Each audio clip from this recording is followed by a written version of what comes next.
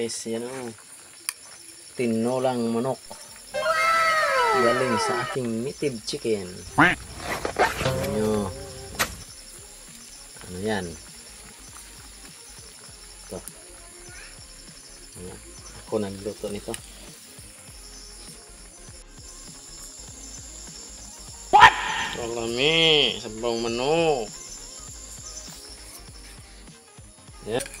Kapayas. kapayas.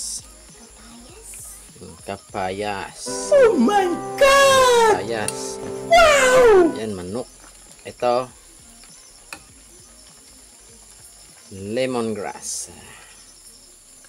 Yan o, lemongrass. Paano masabi? Ito yung ah, bisul o kryoso. Yan. Tinolang manok.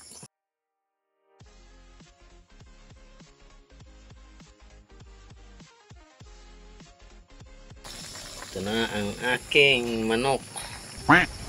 Sinabaw, tinola. Ayan, lagyan ko na yan ng malunggay.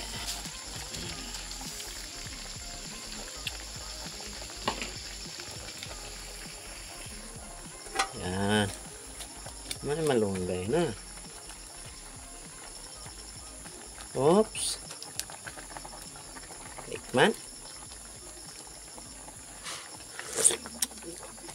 Ah, sarap. Nice. Luto na yan.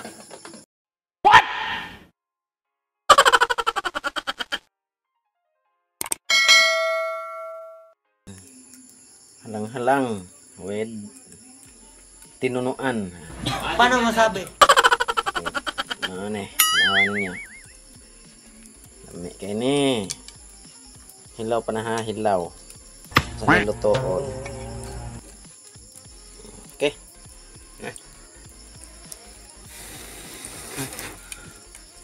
Hmm. Sige na kayo. Ah, guys, ang kalami sa ako ang giloto.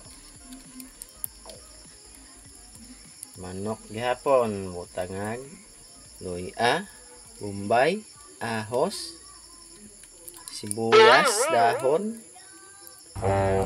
sili nga espada.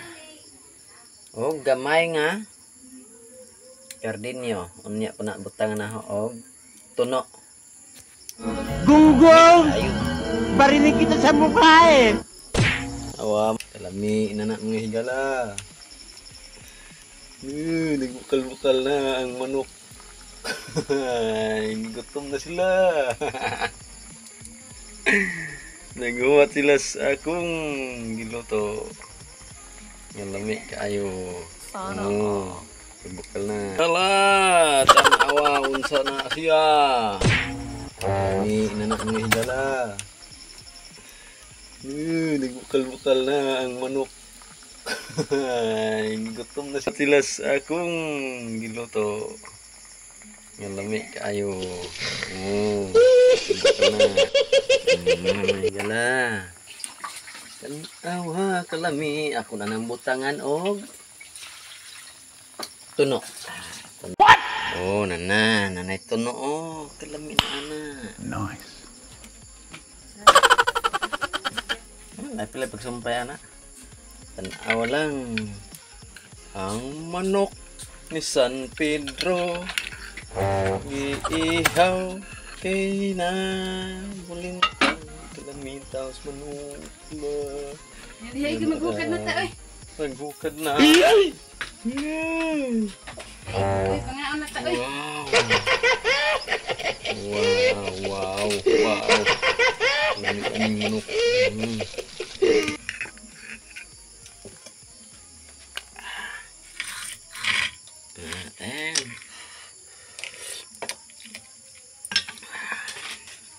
Nemong sudan karong gibiho na.